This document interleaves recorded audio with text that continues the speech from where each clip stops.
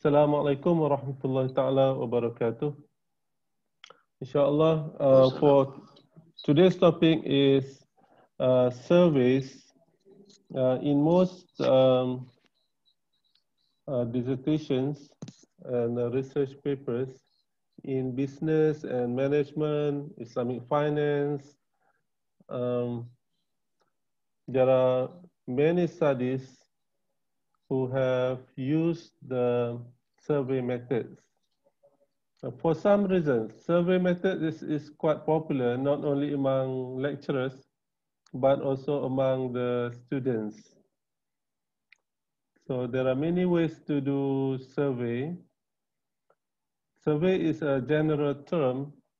Survey can be questionnaires, can be interviews, and um, the survey methods involves uh, asking respondents questions face to face. We call interview or by telephone or via questionnaires of individuals.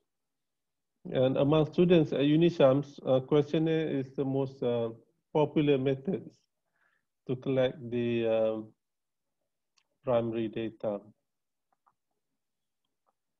So uh,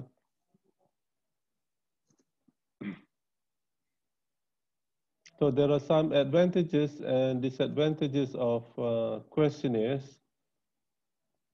Among the advantages of questionnaires are, number one, questionnaires are uh, manageable because usually students have limited time and uh, limited uh, resources.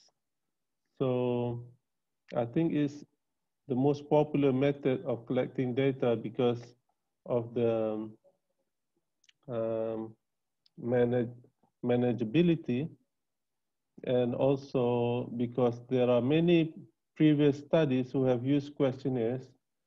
So researchers and students can um, can follow the stats, uh, at least can have a benchmark on how to progress. So let's see the steps in uh, using a survey. The first step is design of the survey. For example, design of the questionnaire. Write the questions. After writing the questions, it's a good idea to do the pilot study, or we call pilot the survey. And then uh, if um, there is uh, no alterations, uh, we can go ahead and administer the actual survey. And if there are some alterations, the alterations need to be made because some, some of the items or the questions in the questionnaire, um, they have uh, they have gone into some uh, they, they do not pass the test of uh, validity and uh, reliability. Okay, so after the pilot survey, uh, sometimes you, uh, the researchers don't have to make alterations. Sometimes they have to make the alterations. Uh, and then after the alterations, if necessary, then the researcher will administer the survey. And then um, administer means to distribute the survey. And then uh, once the, the questionnaires are collected, uh, the data will go to the process of data entry.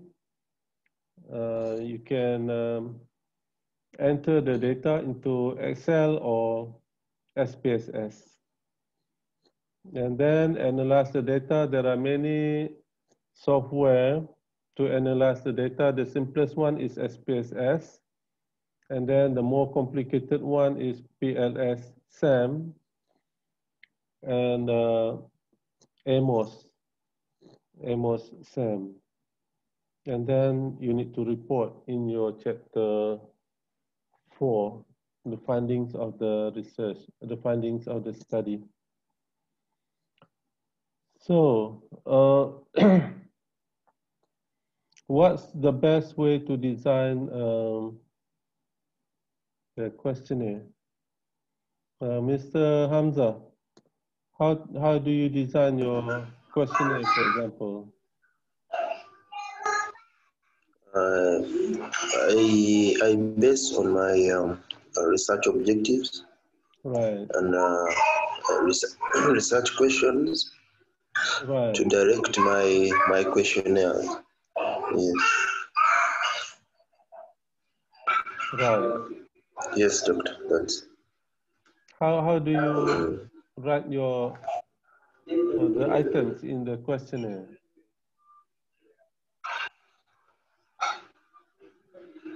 The, the items. Yeah, in the questionnaires you will have what uh, we call constructs, and in each construct there are items. Okay. Okay. Okay. Okay, before writing questionnaire, you must have uh, theoretical framework. Uh, okay. Before writing questionnaire, you must come up with your theoretical framework. And your theoretical framework, like Mr. Hamza said, comes from your objectives and your research questions. Okay. Uh, okay.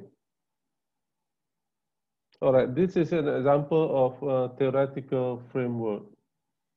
Uh, like uh, we discussed before, it's very important that you have a strong theoretical framework that can be justified. So in order to come up with your theoretical framework, you need to do the literature review. And uh, it's always a good idea to have the full research uh, on the topic that you are trying to do. Um, for example, this uh, theoretical framework is based on TPB, the theory of planned behavior. And in the theory of planned behavior, there are five uh, constructs or five variables, attitude, subjective norm, perceived behavioral control. These are called independent variables. Can you see the slide that I'm sharing? Yes, we're seeing the slide. Okay. And intention is intention is the the mediating variable, and compliance behavior is the dependent variable. Uh, and then in this uh, framework, um, the researcher add another variable as a contribution, uh, moral obligation, and then uh, Islamic religiosity here is the uh, moderating variable, which moderates the relationships between attitude and intention, subjective norm and intention, perceived behavioral control and intention and moral obligation and intention. So before, before we start writing uh, the items in our questionnaire, the theoretical framework must be justified, meaning all the variables that you include in the theoretical framework must have justifications. For example, why moral obligation is included here, why religiosity is included here, and why each of the variables is important in the context that you are trying to study. Examiner will ask you lots of questions on why uh, you include these variables why Islamic religiosity is the moderating variable, why intention is the mediating variable. Define moderating variable. Define mediating variable. Okay, so the best way to justify, like we discussed before, is to look at the previous studies. Uh, you, you can make certain um, adjustment or adaptation uh, as a contribution of the study. Once we are uh, okay with the theoretical framework, meaning the, uh, the variables are justified, then we need to develop the hypothesis. So in this study, this theoretical framework uh, is adopted from Ajzen, Kamil Zainal, and Ram Al-Jafri, and also based on deductive reasoning. The deductive reasoning is used to expand the theoretical framework and to add new variables to the theoretical framework as suggested by Karjaluoto, Mattila, and Pento 2002. So these are the things that you should write. Okay, so then you need to explain the theoretical framework. For example, attitude, um, is included based on the previous studies. So these are the studies, the previous studies which uh, included attitude as the independent variable. And then, okay, you need to explain a little, little bit more about the, the first independent variable, all right. And then uh, you need to explain why more why you add certain variable, why you choose that variable as moderating variable. Everything need to be justified, and the best way is to uh, cite the previous studies. All right, any questions so far?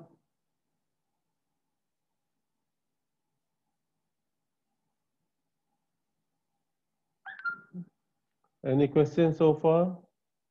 Mr. Azli? Mr. Hamza, any question?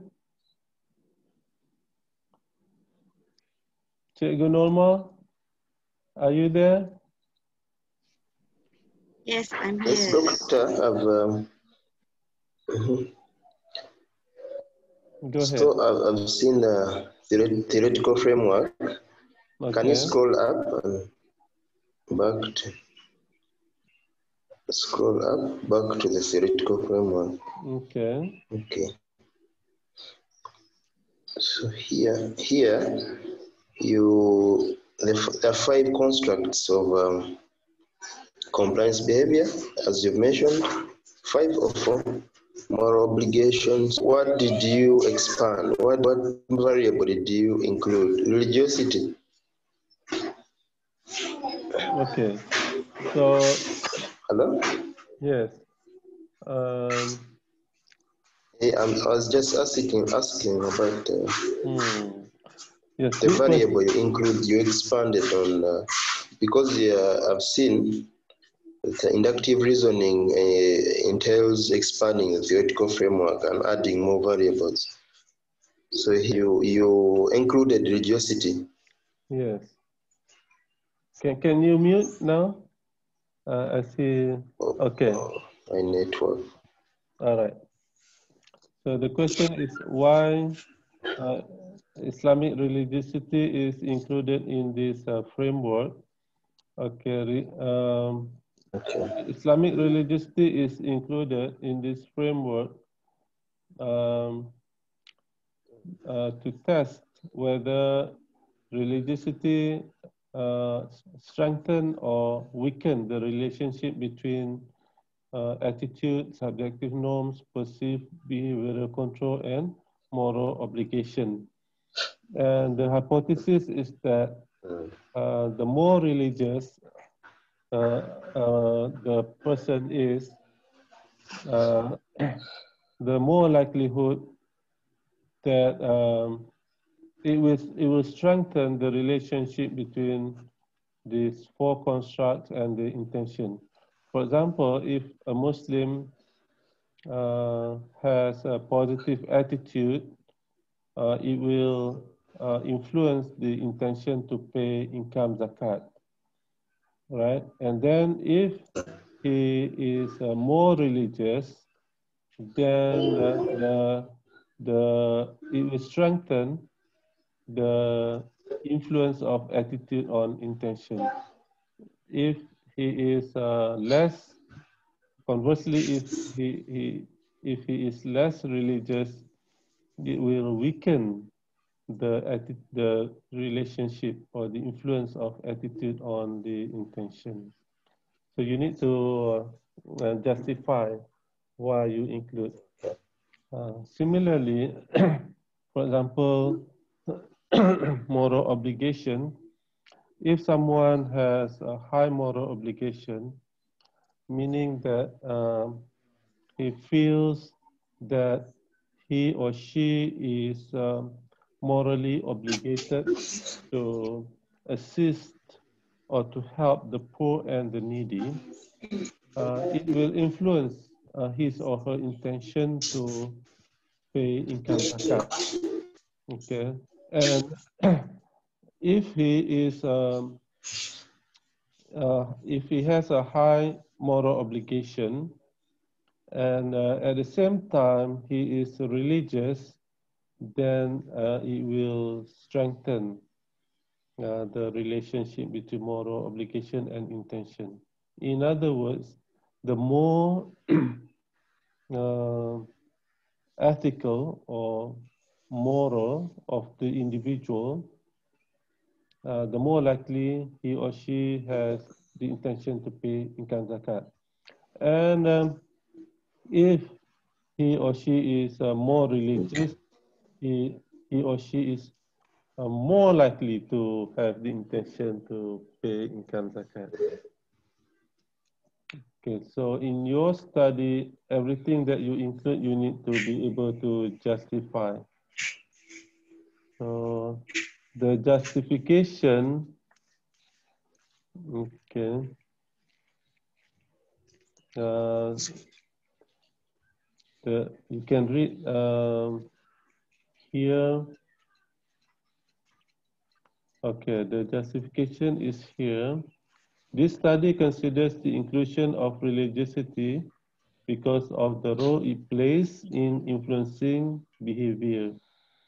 So far, there have been voluminous studies that have examined the impact of religiosity in many areas, including tax and zakat compliance. Such studies include Kamil, etc.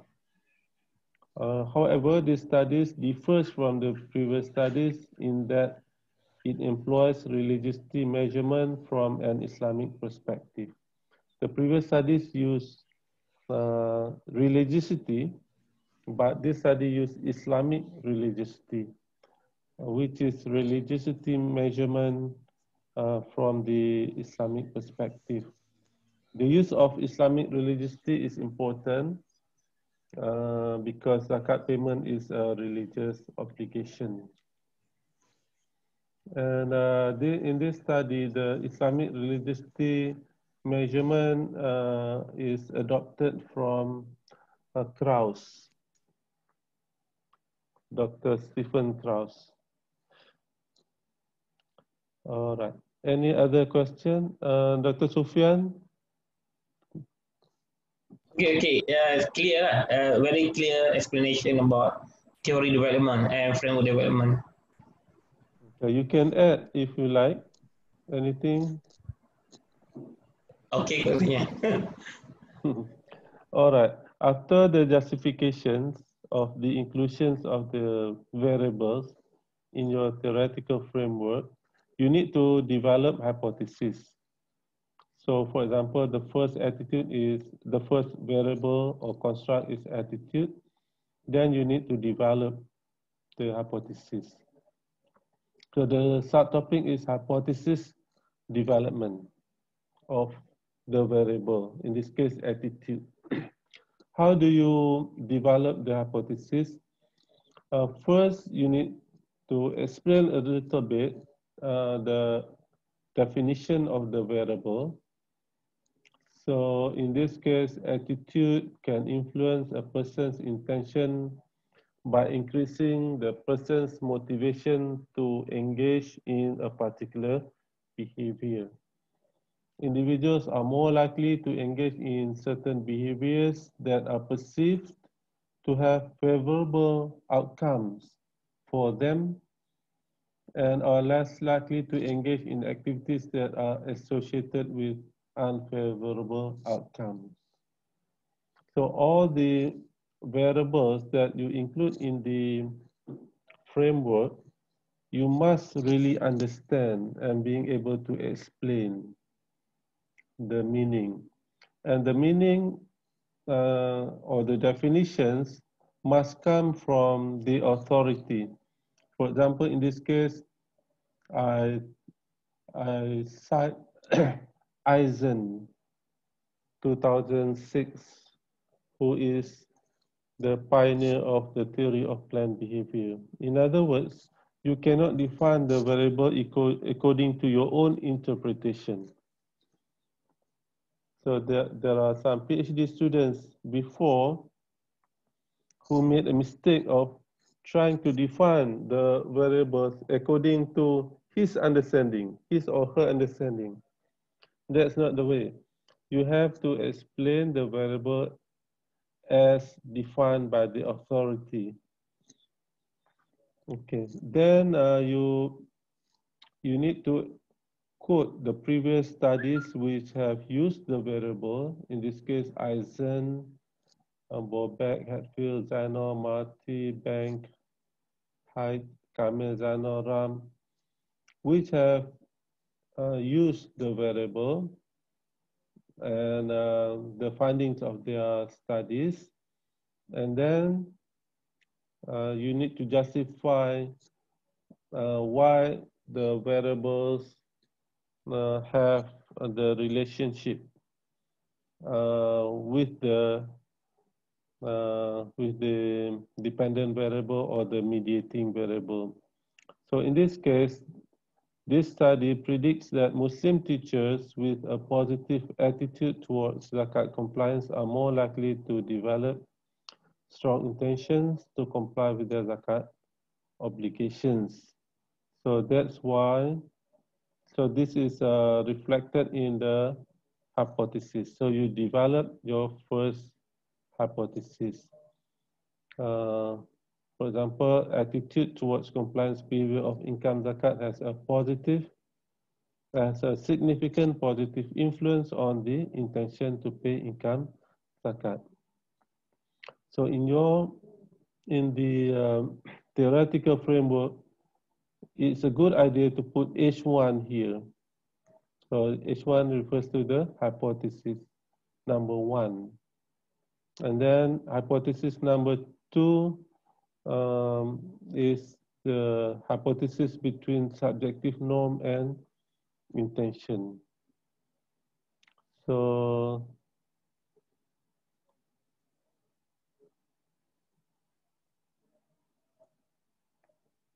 Okay. So hypothesis number two, hypothesis development of subjective norm. Again, you need to explain a little bit about the meaning of a subjective norm according to authority. For example, here, based on Ajzen, subjective norms refer to the influence of other people or reference group on a person's behavior. Subjective norms refer to a person's belief about whether the reference groups approve or disapprove a person's behavior and to what extent a person's behavior is influenced by the reference groups. So all these definitions must come from authority. And then you need to explain why uh, or how, how um, uh, subjective norm can influence the intention. Uh, it's a good idea you quote the previous studies we have which uh, which have used uh, the subjective norm as the independent variable. And finally, you write something like this. So this study predicts or hypothesizes that in the context of zakat, Muslim teachers who fulfill the conditions of paying zakat, who believe an important reference expects them to comply with their zakat obligations will have will have strong intention. Okay, so your H2 hypothesis 2 is subjective norms has a positive and significant influence on the intention to pay income zakat and so on. So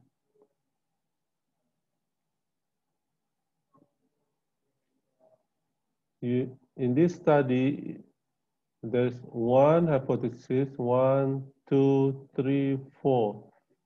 And the fifth hypothesis, um, because there are four moderating uh, variables here. So uh, this researcher divides the fifth hypothesis into four uh, four, what you call, four different hypotheses. So hypothesis 5A, uh, try to, hypothesis 5A, for example, Islamic religiosity moderates the relationship between attitude and intention. 5B, Islamic religiosity moderates relationship between subjective norm and intention, and so on. And then the last hypothesis is H6. Okay, so H6 is the intention has a positive and significant influence on compliance behavior. Okay, so you need to develop the hypothesis. Okay. Then the next step, you need to define uh, each of the variables we call operational de definitions and measurements of variables. In this section, you need to explain how you are going to measure each of the variable. For example, intention. How do you measure intention? Intention is something uh, which is in the heart, right? We cannot see. This is an abstract concept. However, for the purpose of research, we need to be able to measure the intention of the individuals. So in order to measure using questionnaire, you have to develop items Okay, you have to develop items. So in this study, intention refers to the willingness and intention to pay income zakat to Kedah State uh, Department of Zakat. And the best way to write items is to adapt and adopt uh, items from previous studies. For example, this study ad adapt and adopt the items from Zainal 2008. And for the intention, uh, there are five items. For example, I will pay income zakat. And you need to mention the scale that you use. For example, the most common use, the, the most common scale is a Likert scale of five. For example, number one, strongly disagree. Number two, disagree. Score three, neutral or not sure. Neutral or not sure. Score four for agree and score five for strongly agree. So if you have five items and the respondent answer five, which is strongly agree for each of the items, the highest total score is 25. So the higher the score means the higher the intention. Okay.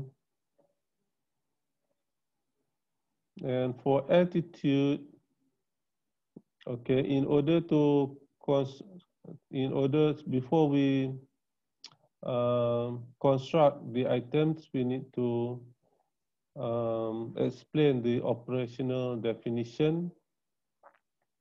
So the definition of attitude is adapted from who, all right? And then like before, uh, it's best that you adapt and adopt the items from previous studies.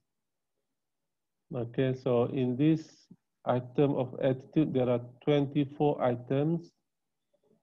So every item is measured using a Likert scale of five.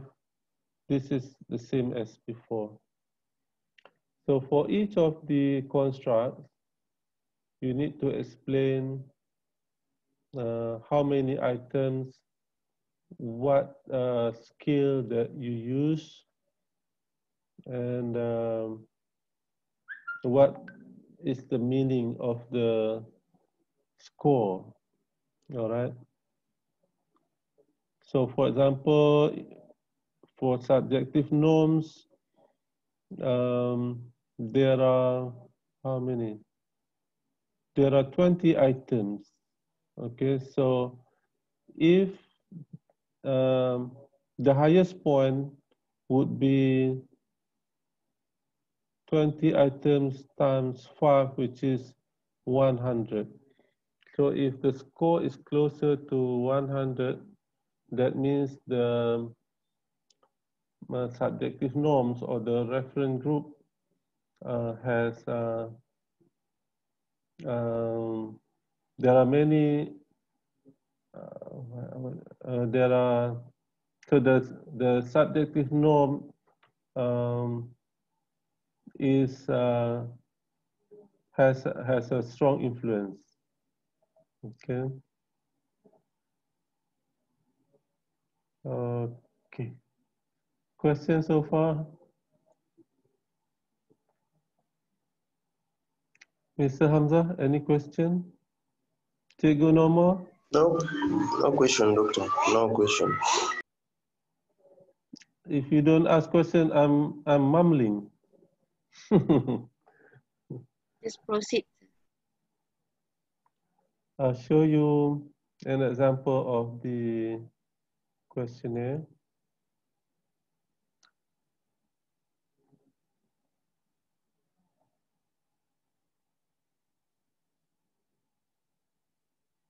Dr. Sofian, anything you want to share? Or you want to? Uh, uh, Prof, uh, uh, can I ask a question? Sure, sure. You can ask many questions. okay. For the questionnaire, in Malaysia, we should write in the English only or English and Malay? Okay. Depends on the respondents. If the respondents can understand English, then uh, you distribute the questionnaire in English.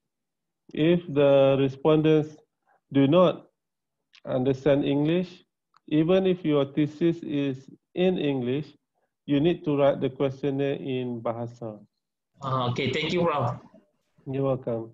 So in this case, uh, there are two versions of the questionnaire. One is in English, one is in Bahasa.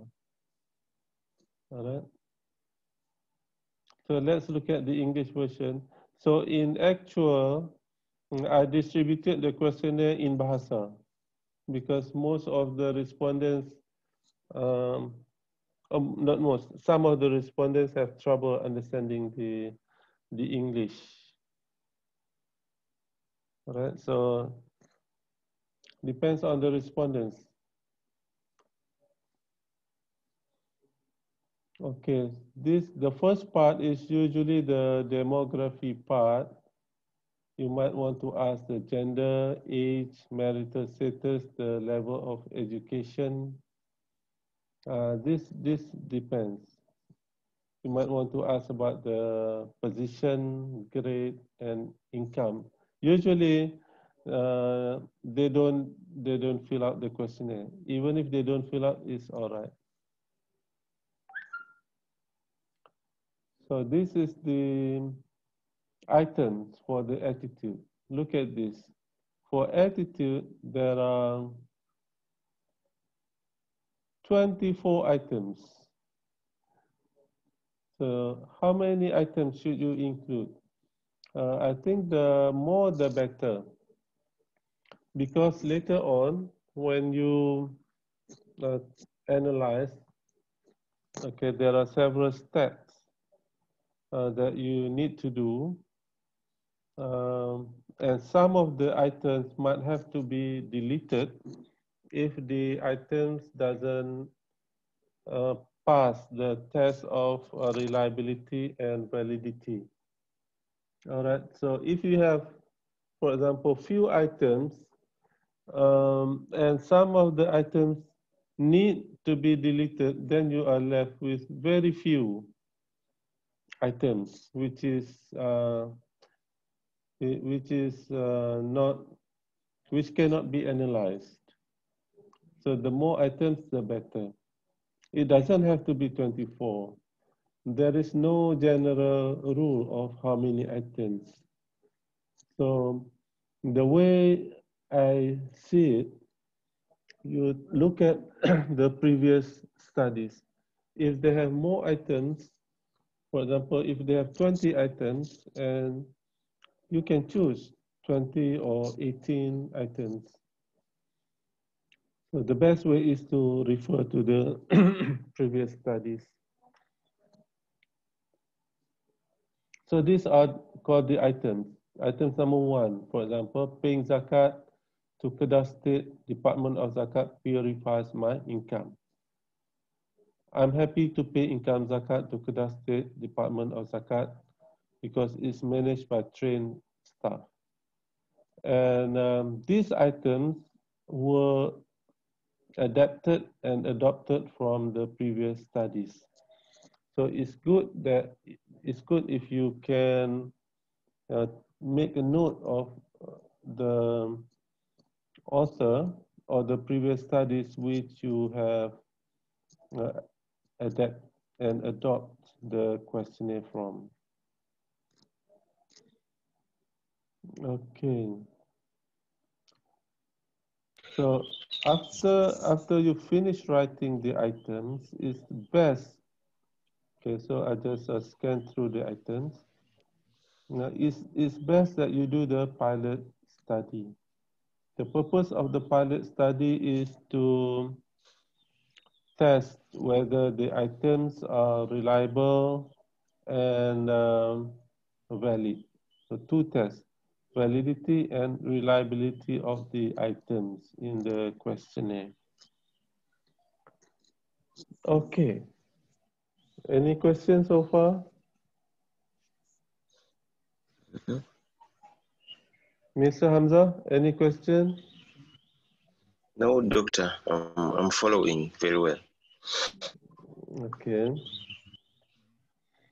Then the next question is, uh, how do you um, do the pilot study? How many?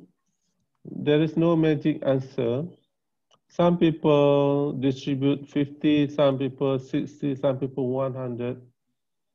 And the respondents in the in the pilot study uh, is usually different from the respondents in the in the actual survey. So some people ask, can can I include the um, the uh, the questionnaires from pilot study into the actual study? Um, there are uh, differences in opinions. And in my opinion, it's best that we separate the pilot study from the actual uh, survey. All right, for example, the pilot study is done at Unishams, right? So the respondents are, for example, staff of Unisham. While the actual study, you go out and um, the respondents are, uh, you know, distributed throughout uh, the Kedah state. So the respondents of the pilot study is best if they are different from the uh, actual respondents.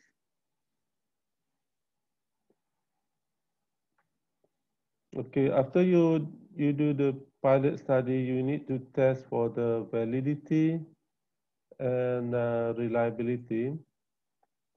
Usually it's enough if you just use the Cronbach Alpha. If the value of the Cronbach Alpha is um, higher than 0.6, then the um, the items is said to be valid and reliable.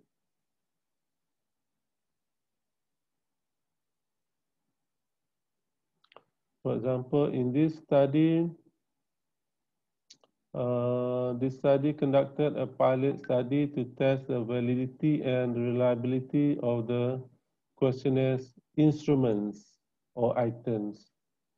So this study selected a total of 150 students. Okay. However, only 100 of them completed and returned the questionnaires. So, so there were 100 respondents who participated in the pilot study. And then uh, this study used Cronbach Alpha. Cronbach Alpha is a reliability coefficient which shows how well the items as a set are correlated to one another. The study computed Chromebug alpha in terms of the average intercorrelated among the items measuring the concepts. The closer Chromebug alpha is to value of one, the higher the internal consistency reliability according to Sakharin 2003. Sakharin 2003 suggested that Chromebug alpha values greater than 0.6 are sufficient for testing the reliability of factors. So for each of the items, okay, these are the Cronbach alpha value, and all of them are greater than 0.6, which means that there is no need for alteration. Okay.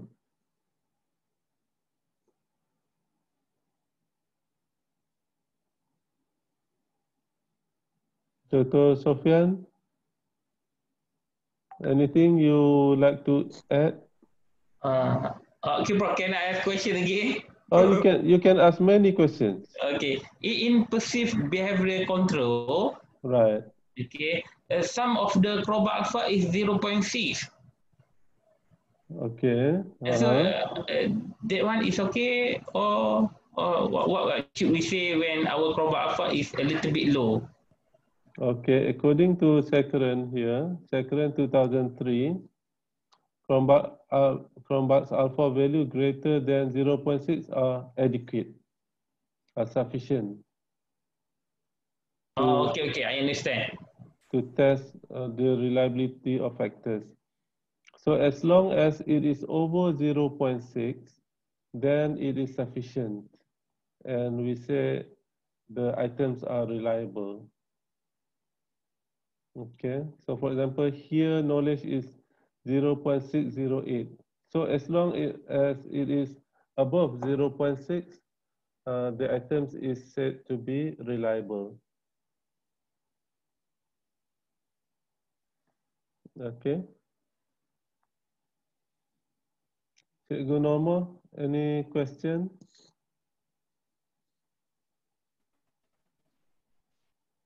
No, doctor. No question. No question. Anything you want to add? Uh, I'm doing my um, pilot study. Uh, I'm doing uh, factor analysis. So, uh, about um, how many samples, it depends on literature. Uh, according to her, uh, samples, uh, minimum 150 samples. Uh, it depends on uh, your literature review lah. Right, yes. Yeah, you need to justify why you choose 150, for Yes. example. Why you choose 100, for example. Yeah, good point. Okay.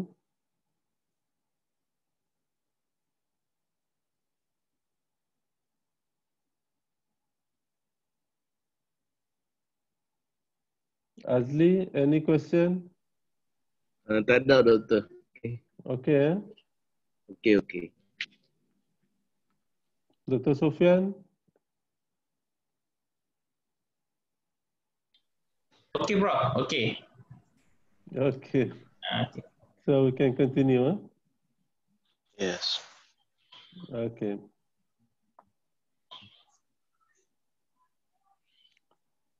So now, mm, the next thing is to collect the data, right? Once the questionnaire is ready, then uh, you need to collect the data. Here you need to specify uh, the survey method that that um, uh, you use. And it's best that you can justify why you use the questionnaire. For example, okay, this study uses survey method using questionnaires to collect data. This method is considered suitable. Why? Because units of analysis or respondents are scattered around the state of Kedah and uh, the advantage of using questionnaires is the data can be obtained effectively, concisely, and fast. Who says? Zikmund 2003. Okay, and then you need to explain how the questionnaire is distributed. The researcher distributes and meets personally with respondents after the sampling process is completed. And then you need to explain a little bit about how the questionnaire uh, is organized. For example, part A, demography, part B, attitude, part C, subjective norm, and etc. So in this questionnaire, there are uh, many parts, A through O, okay? And you need to explain about the unit of analysis. The unit of analysis refers to the subject that is being studied in the research. So unit of analysis for this study is the individual Muslims public school teachers who are eligible to pay income zakat located in the state of Kedah. And then uh, you need to explain about population and sampling. According to Zygmunt 2013, population is defined as a complete group of entities which share common characteristics. So you need to explain the population of the study in, in your context. And then you need to determine the sample size. There are many uh, criteria in choosing the sample size. One of the most, one of the popular criteria is Krejcie and Morgan 1970. So this uh, study choose uh, the criteria of based on uh, Krejcie, Krejcie and Morgan 1970. This is the formula, and this is a table. So for example, uh, the population of the study is around 13,000, right? So 13,000 is between 10,000 to 15,000. So, this is the population, okay? So the sample size must be between 370 to 375, right? So in this study, okay, based on Krejcie and Morgan, if the population is 13,000, 13,000 lies between 10 and 15,000, then the sample size should be between 370 and 375 here. And this study choose 372, just a number between 370 and 375. Then you need to explain the procedure. There are many uh, sampling uh, procedure, simple random sampling, stratified uh, sampling, cluster sampling, and then you, uh, you need to explain. Uh, Prof tanya, Ya, ya, boleh. if the population is larger than 100k, so so oh, what number of samples should we use? 384. Uh, it is larger than 100, 1 million. One, this, this is 1 million. 1 million. Oh, okay. 100k or 1 million that one? This is 1 million. 1 million. Oh, okay. So the highest is 384. Okay, understand. So it's manageable, uh, 384, right? So the minimum is 384 Maximum, maximum. yes. According to Krishi and Morgan. So which is manageable, right? 384.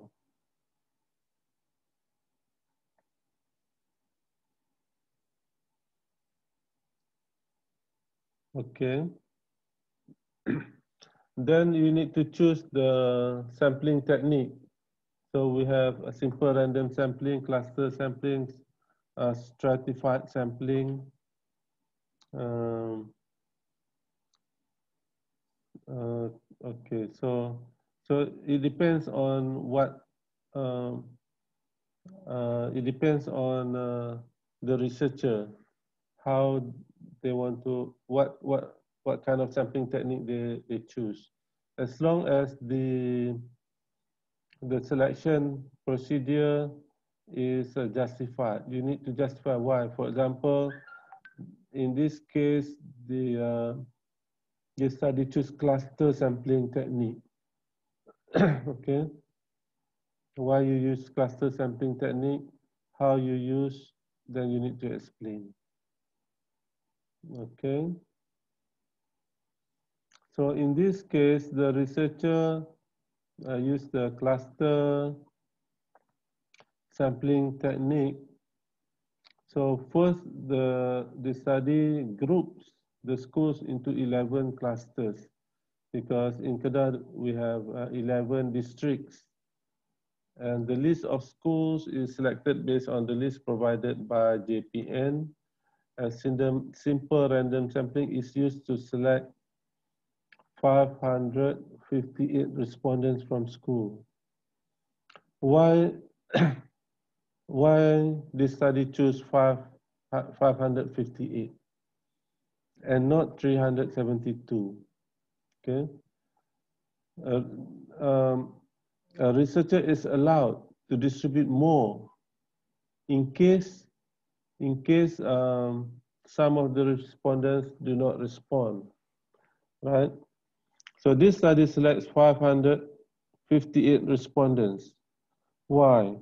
Because according to Salkin 2012 and Bartlett uh, uh, and Higgins 2001, to make provisions for the possibility of low response, the researcher is allowed to distribute 50% more than the required 50% more than the required sample size needed.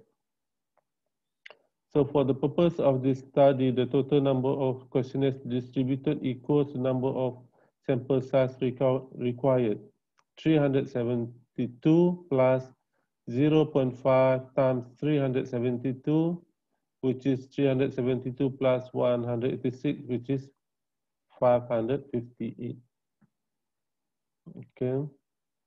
So in order to ensure the high response rate, the researcher himself went to each of the schools. It was not uh, through mail because um, the researcher was afraid if the questionnaires were mailed, then the response rate would be very low. So the best way is to see the respondents uh, and give them time to to fill out. And pujuk-pujuk lah, you try to persuade them, convince them to cooperate with you. Okay. And in the end, out of 558, the questionnaires filled and returned were, was a 402 questionnaires. So this is higher than the target of 372. Okay. And for the analysis, this study uses a PLS SEM in the analysis of data. Okay, why uh, the study chose PLS SEM? One of the reasons for using PLS SEM is when the structural model is complex, uh, meaning the theoretical framework is complex. It has mediating variable and also the moderating variable. Okay, that's why um, PLS SEM is chosen. According to Hair 2011, the selection of PLS SEM is more appropriate when extending an existing theory, which is what this study attempts to do. Moreover, the advantage of PLS SEM is that it can estimate measurement model and structural model simultaneously. So using PLS SEM, there are three stages. The first stage involves data screening process and, diagnose, and diagnostic tests. Okay, so the purpose of the screening and diagnostic test is to test whether the data is suitable or not to be used for the purpose of statistical analysis. Okay, you need to test. Some of the students, they didn't test, which is a big mistake. Uh, the second stage is performing the assessment of measurement model to identify the underlying structure of uh, the variables. And then the third stage, the assessment of structural model and the data is run using PLSM to determine what we call the path model uh, to show which variables are significant. So basically there are three steps in PLSM. Okay, and uh, you need to explain each of the each of the steps. Step one is data screening process and diagnostic test. All right. Stage two, assessment of measurement model. You need to test whether each of the items pass through the reliability and uh, validity test you need to test for the reliability and validity of each of the items. All right. And then in the third stage, after passing through the second stage, Then you assess the structural model. You assess the significance and relevance of the relationships. Okay. Okay, I want to stop here for questions. Any questions? Anyone familiar with PLS SEM?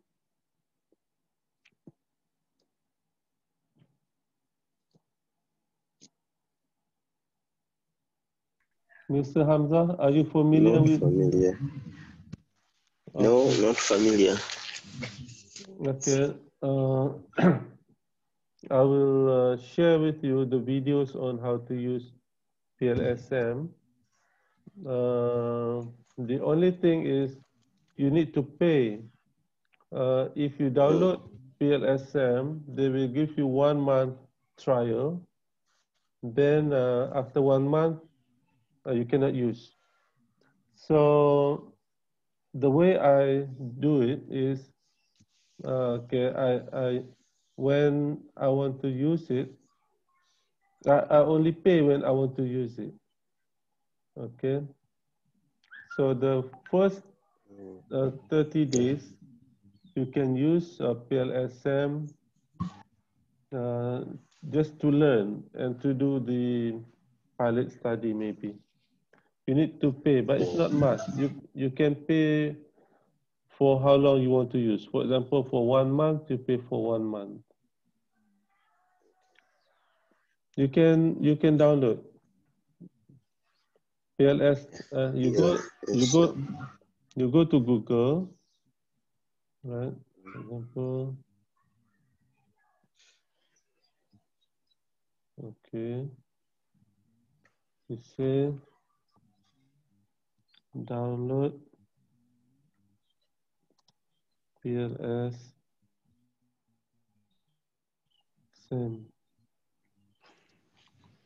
version 3.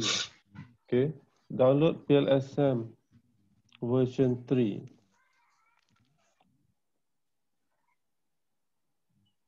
Okay, then you click download here.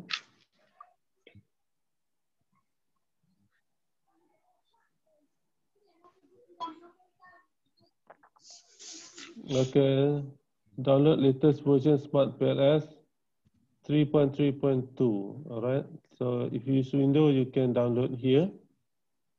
All right, and then just follow the step. I already download, so I cannot click here. Okay. Okay. Uh, PLS SEM Smart Smart PLS version 2.0 uh, is free, but uh, it allows only up to 100 mm, respondents. So you you have to use this one. If you don't want to use, don't download it yet because it, it, once you download, it will start the free three-day trial, right? Okay. Yes. So you download you you do, you download when you want to use. Um, I will give you the videos on how to use.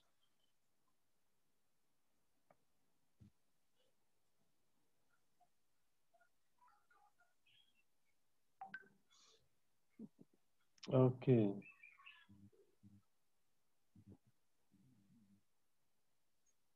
Any any questions so far?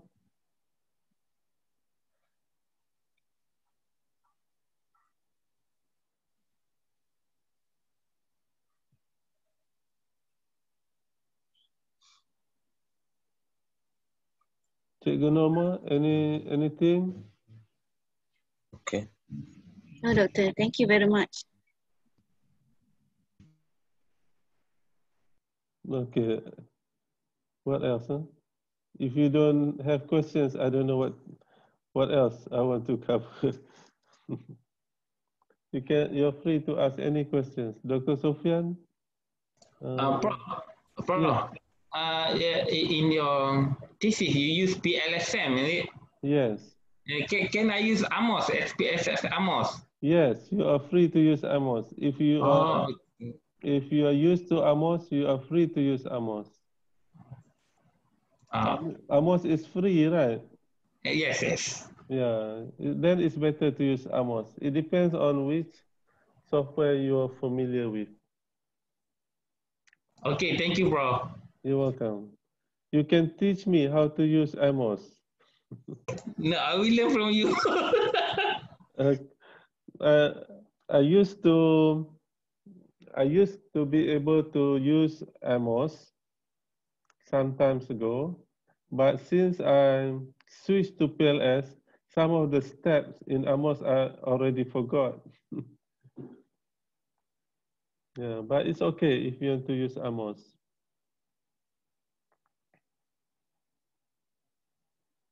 And of course, if you use Amos, Amos, the way you write is slightly different from this thesis. This is based on PLS. So there is a slight difference on the steps in measuring uh, structural, what do you call, uh, the assessment model and the structural model. Okay.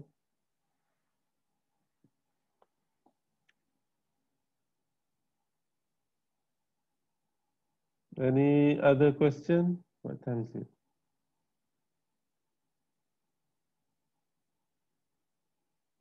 What else? I think I think that's about it. Uh, the the use of questionnaires in your study.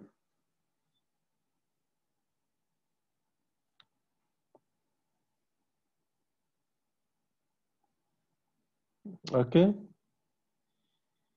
Uh, next topic, we will discuss uh, the qualitative research, the population and sampling in qualitative research in next class. Okay, so we are about done with the quantitative uh, research.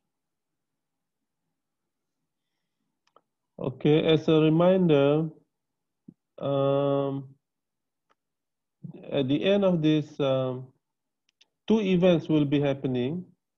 Number one, okay, take, take note, number one, we will have uh, International Conference on Islamic, uh, International Conference on Contemporary Issues in Islamic Finance, which is scheduled on 13 through, on 11 through 13th of October.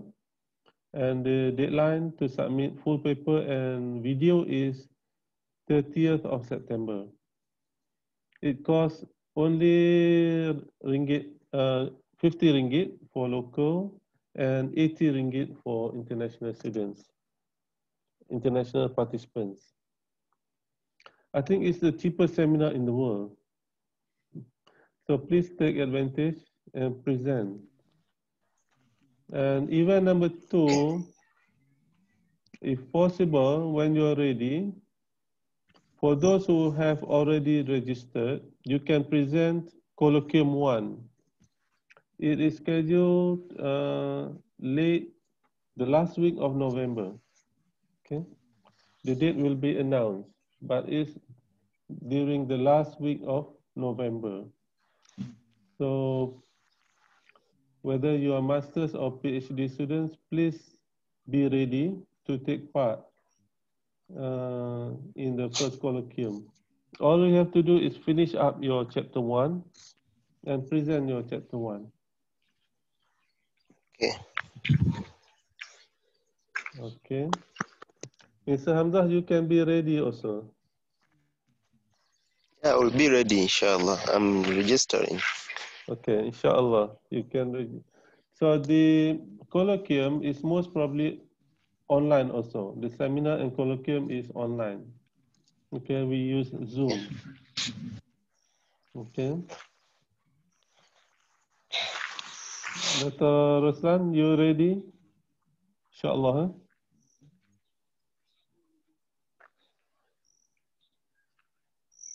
Uh, InsyaAllah. InsyaAllah. uh, Dr. Sofian, eh? inshallah. InsyaAllah. End of November, inshallah. Okay.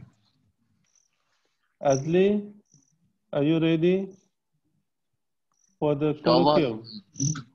InsyaAllah. Just present your chapter one. Eh?